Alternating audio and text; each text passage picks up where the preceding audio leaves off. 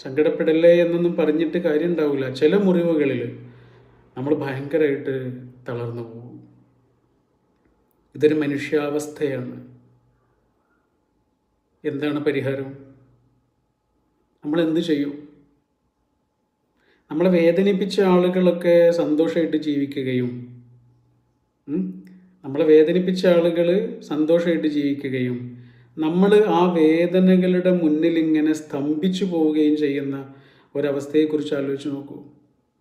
അങ്ങനെയാണ് ഉണ്ടാവുക. അപ്പോൾ നമ്മൾ എന്ത് ചെയ്യും? ആകെ ചെയ്യാവുന്നൊരു കാര്യം ആ ഒരു കാര്യത്തെ മറന്നു പോകുക എന്നുള്ളതാണ്. മറക്കാൻ ശ്രമിക്കുക. മറക്കാനൊന്നും കഴിയില്ല നമുക്ക്. മറന്നതുപോലെ ജീവിക്കാനൊക്കെ കഴിയുള്ളൂ. ചില സങ്കടങ്ങൾ അങ്ങനെയാണ്. മറന്നതുപോലെ ജീവിക്കാനേ നമുക്ക് കഴിയുള്ളൂ. പിന്നെ ചെയ്യാവുന്നത് അവർക്ക് പുറത്തു കൊടുക്കുക എന്നുള്ളതാണ്. അവർക്ക് പുറത്തു കൊടുക്കുകയും ആ കാലത്തെയും ആ മനുഷ്യരെയും മറക്കാൻ ശ്രമിക്കുകയും അതല്ലെങ്കിൽ മറന്നതുപോലെ ജീവിക്കാൻ ശ്രമിക്കുകയും ചെയ്യുക എന്നുള്ളതാണ് ആകെ നമുക്ക് ചെയ്യാവുന്നൊരു കാര്യം. പറ്റുമെങ്കിൽ. പക്ഷെ അതത്ര എളുപ്പവുമല്ല. പിന്നെ നമുക്ക് ചെയ്യാവുന്നൊരു കാര്യം എന്താണ്? നമ്മളെ ചില ആളുകൾ വേദനിപ്പിച്ചിട്ടുണ്ട്. നമ്മൾ വളരെ സ്നേഹിച്ച ആളുകൾ നമ്മളെ വേദനിപ്പിച്ചിട്ടുണ്ട്. സ്നേഹിച്ച ആളുകൾ വേദനിപ്പിക്കുമ്പോൾ ആ വേദനയുടെ കാഠിന്യം എത്രയാണ് ഇത് നമുക്ക് നന്നായിട്ട് അറിയാം.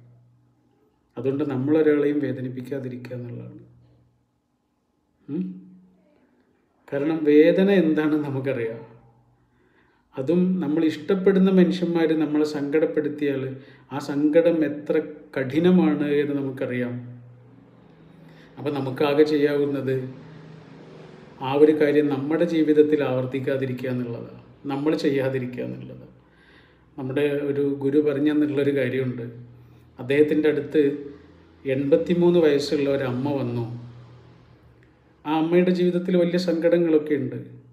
അമ്മ പറയാണ് അവർ കോളേജിലൊക്കെ പഠിക്കുന്ന കാലത്ത് വോളിബോൾ താരമായിരുന്നു അങ്ങനെ വോളിബോൾ കളിക്കാൻ വേണ്ടിയിട്ട് ഡൽഹിയിലേക്കോ മറ്റോ പോയി.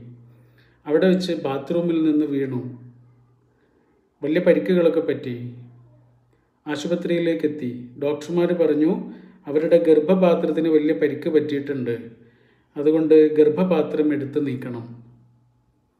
വോളിബോൾ കളിക്കാൻ പോയ ആൾ ഗർഭപാത്രമില്ലാതെയാണ് വീട്ടിലേക്ക് തിരിച്ചു വരുന്നത്. ആ പെൺകുട്ടി എത്ര സങ്കടപ്പെട്ടിട്ടുണ്ടാവും എന്ന് ആലോചിച്ച് നോക്കും. കല്യാണത്തിന്റെ ഒക്കെ ഇങ്ങനെ ഒരു ആലോചനയൊക്കെ മനസ്സിലുണ്ടാകുന്ന സമയമാണ് ഒരമ്മയാകാനുള്ള വലിയ കൊതിയൊക്കെ ചെറിയ കുഞ്ഞായിരിക്കുന്നത് മുതൽ ഒരു പെണ്ണിന്റെ ഉള്ളിലുണ്ട്. അങ്ങനെയുള്ള ഒരാൾക്കാണ് ഇനി അമ്മയാകാൻ കഴിയാത്തൊരവസ്ഥ ഉണ്ടാകുന്നത് അത്രയും ദുഃഖത്തിലിരിക്കുന്ന ആ കുട്ടിയുടെ അടുത്തേക്ക് കുറേ ആളുകൾ വന്നു. ആ കൂട്ടത്തിൽ ഒരു അമ്മായി വന്നിരുന്നു. ആ അമ്മായി ഈ മോളോട് പറഞ്ഞ എന്താണെന്നറിയോ? ഗർഭപാത്രം എടുത്ത് നീക്കിയത് എന്തായാലും നന്നായി. കാരണം ഇനി നീ കുടുംബത്തെ പറയിപ്പിക്കില്ലല്ലോ. കുടുംബത്തിന് പേരുദോഷം ഉണ്ടാക്കില്ലല്ലോ. ഇത് പറഞ്ഞിട്ടേ എൺപത്തിമൂന്ന് വയസ്സുള്ള ആൾ പൊട്ടിക്കരയാണ്. അറുപത് കൊല്ലങ്ങൾക്ക് മുമ്പ് നടന്നൊരു സംഭവമാണ്. പക്ഷെ അറുപത് കൊല്ലങ്ങൾക്കിപ്പുറവും ഒരാളുടെ കണ്ണീര് പൊടിക്കാൻ കാരണമാകുന്നത്ര കഠിനമായ ചില വാക്കുകളുണ്ട്. മറക്കാൻ കഴിയില്ല അവർക്ക്. അതങ്ങനെ കിടക്കും. ആ മുറിവ് ഉണങ്ങാതെ കിടക്കും. ഒരാളെ വേദനിപ്പിക്കുമ്പോൾ അത് കടലിലേക്കൊരു കല്ലെറിയുന്നത് പോലെയാണ് എന്ന് കേട്ടിട്ടില്ലേ? കല്ലെറിയുക എന്നുള്ളത് നമുക്ക് വളരെ ഈസി ആയൊരു കാര്യമാണ് കടലിലേക്ക്. പക്ഷേ എത്രയേറെ ആഴങ്ങളിലേക്കാണ് അത് ചെന്ന് വീഴുന്നത് എന്ന് നമുക്ക് സങ്കല്പിക്കാൻ കഴിയില്ല. അത്രയേറെ ആഴങ്ങളിലേക്ക് ചെന്ന് വീഴുന്നൊരു കല്ല് പോലെയാണ് ഒരാൾക്ക് നമ്മൾ കൊടുക്കുന്ന ചില വേദനകൾ. അതും ഏറ്റവും പ്രിയപ്പെട്ടവർക്ക് കൊടുക്കുന്ന വേദനകൾ. ഈ ലോകത്ത് പ്രിയപ്പെട്ടവരുടെ വേദന കൊണ്ട് ഏറ്റവും അധികം സങ്കടപ്പെട്ട ഒരാളുണ്ട്.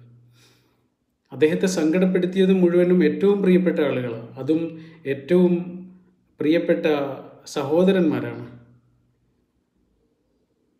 അദ്ദേഹത്തിന്റെ പേര് ജോസഫ് എന്നാണ്. ബൈബിളിൽ ജോസഫ് എന്നാണ് പേര്. ഖുറാനിൽ അദ്ദേഹത്തിന്റെ പേര് യൂസഫ് നബി എന്നാണ്. അദ്ദേഹത്തിന്റെ സഹോദരന്മാർക്ക് അദ്ദേഹത്തോട് വലിയ അസൂയ ഉണ്ടാവുകയാണ്. എന്നിട്ട് അദ്ദേഹത്തെ കളയാൻ വേണ്ടിയിട്ട് വീട്ടിൽ നിന്ന് കളയാൻ വേണ്ടിയിട്ട് ഒരു പൊട്ടക്കിണറ്റിൽ കൊണ്ടുപോയിട്ട് ഉപേക്ഷിക്കുകയാണ്. ദൈവത്തിന്റെ നിശ്ചയപ്രകാരം പൊട്ടക്കിണറ്റിലേക്ക് വീണു പോയ ആൾ പിന്നെ കൊട്ടാരത്തിലാണ് വളരുന്നത്. അത് പഠിച്ചവന്റെ ചില നിശ്ചയങ്ങളാണ്. നമ്മൾ ചില ആളുകളെ പൊട്ടക്കിണറ്റിലൊക്കെ കൊണ്ടുപോയിടും. പക്ഷേ പഠിച്ചവൻ അവരെ കൊട്ടാരത്തിൽ എത്തി എത്തിക്കും? നമുക്കൊരാളെയും തകർക്കാനൊന്നും പറ്റില്ല അതൊക്കെ വെറുതെ പറയാണ്. പഠിച്ചവൻ തന്നെ അതിനെ നിശ്ചയിക്കണം. കുറേ കാലം കഴിഞ്ഞ് യൂസഫ് നബിയുടെ അടുത്ത് ജോസഫിന്റെ അടുത്ത് സഹോദരന്മാർ വന്നിട്ട് മാപ്പ് ചോദിക്കുന്നുണ്ട് പണ്ട് ചെയ്ത കാര്യത്തിന്. അപ്പോൾ അദ്ദേഹം കൊടുക്കുന്ന മറുപടി അങ്ങനെ തന്നെയാണ്. അതൊക്കെ പഠിച്ചവന്റെ നിശ്ചയങ്ങളാണ്. ഞാൻ അങ്ങനെ എത്തണം എന്നത്. അങ്ങനെയൊക്കെ എന്റെ ജീവിതത്തിൽ സംഭവിക്കണം എന്നുള്ളത് പഠിച്ചവന്റെ നിശ്ചയമാണ്. നിങ്ങളതിൽ വിഷമിക്കേണ്ട. ഖുർആാനിൽ അദ്ദേഹം പറയുന്നതായിട്ട് ഇങ്ങനെയാണ് പറയുന്നത് ഞാൻ നിങ്ങൾക്ക് പുറത്തു തരാം. പഠിച്ചവൻ നിങ്ങൾക്ക് പുറത്തു തരാൻ വേണ്ടിയിട്ട് ഞാൻ പ്രാർത്ഥിക്കുകയും ചെയ്യാം എന്നാണ്. വല്ലാത്ത വാക്കാണ്. ഞാൻ നിങ്ങൾക്ക് പുറത്തു തരാം. ഇനി നിങ്ങൾക്ക് പുറത്തു തരേണ്ടത് പഠിച്ചവനാണ്. പഠിച്ചവൻ നിങ്ങൾക്ക് പുറത്തു തരാൻ വേണ്ടിയിട്ട് ഞാൻ പ്രാർത്ഥിക്കുകയും ചെയ്യാം എന്നാണ്. ഓക്കെ. ആ ജോസഫിനൊരു കുഞ്ഞുണ്ടായി. കുറേ കാലം കഴിഞ്ഞിട്ട് ഒരു കുഞ്ഞുണ്ടായി. ആ കുഞ്ഞിന് ജോസഫ് എന്താണ് പേരിട്ടത് എന്നറിയോ? ജനിച്ച ആ കുഞ്ഞിനെ ചോരപ്പൈതലിനെ ഇങ്ങനെ ജോസഫിന് കൊണ്ടുവന്ന് കൊടുക്കുകയാണ് വയറ്റാട്ടി. അങ്ങനെ വയറ്റാട്ടി കയ്യിലേക്ക് ഇങ്ങനെ വെച്ച് കൊടുക്കുമ്പോൾ ജോസഫ് ആ കുഞ്ഞിനെ ഹൃദയത്തിന്റെ നേരെ ഇങ്ങനെ ചേർത്ത് വെച്ചിട്ട് ആ കുഞ്ഞിന്റെ കാതിൽ ഒരു പേരിട്ടു. ആ പേരിങ്ങനെയായിരുന്നു. മനാസേഹ് മനാസേഹ് എന്നുള്ള വാക്കിന്റെ അർത്ഥം എന്താണെന്നറിയോ? സാരല്ല എന്നാണ്. എല്ലാം പൊറുക്കുക എന്ന്. കുറേ കാലം കഴിഞ്ഞിട്ട് ഈ കുട്ടിയുടെ അടുത്തേക്ക് ആളുകൾ വന്നിട്ട് പറയും നിന്റെ അച്ഛനെ നിന്റെ വാപ്പയെ വാപ്പയുടെ സഹോദരന്മാർ എത്രയേറെ ആക്രമിച്ചിട്ടുണ്ട് എന്നറിയോ? കൊല്ലാൻ വേണ്ടിയിട്ട് കിണറ്റിൽ കൊണ്ടുപോയി എറിഞ്ഞതാണ്. അവരോട് പകരം വിടണം. അവരെ ഒന്നും വെറുതെ വിടാൻ പാടില്ല എന്നൊക്കെ ആരെങ്കിലുമൊക്കെ വന്നിട്ട് ഈ കുട്ടിയോട് പറയും.